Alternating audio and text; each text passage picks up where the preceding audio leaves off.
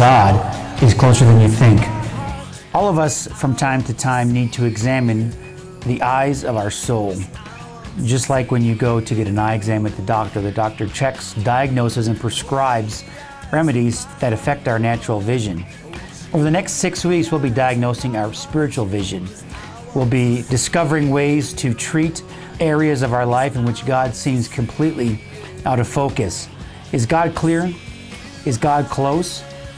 He's closer than most of us might think. We just need to see Him more clearly with the eyes of our soul.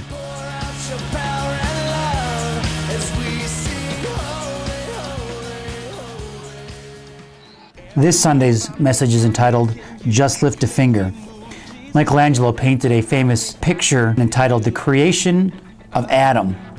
In that picture, uh, we see God straining and reaching out towards Adam. And Adam uh, kind of lackadaisically reaches out to God, reclining, uh, almost as if he doesn't want to put any effort into his relationship with God. In that painting, you see a small gap between God's finger and Adam's. And all Adam really needs to do to get in touch with God is to simply lift his finger. Yet it seems like he can't even do that. Every move I make, I you. You make me move, Jesus.